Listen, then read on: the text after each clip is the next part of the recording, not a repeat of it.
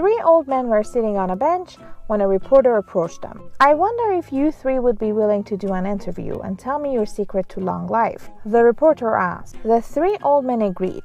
And the reporter asked the first old man his secret to long life. I never drank alcohol, I never smoked tobacco, and I've been married to the same woman for 50 years. That's really remarkable, said the reporter.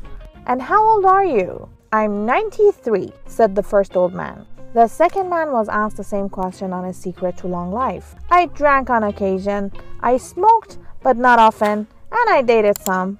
And how old are you? asked the reporter. I'm 91, said the second old man. Finally, the reporter approached the third old man and asked his secret to a long life. I dated every woman that would go out with me.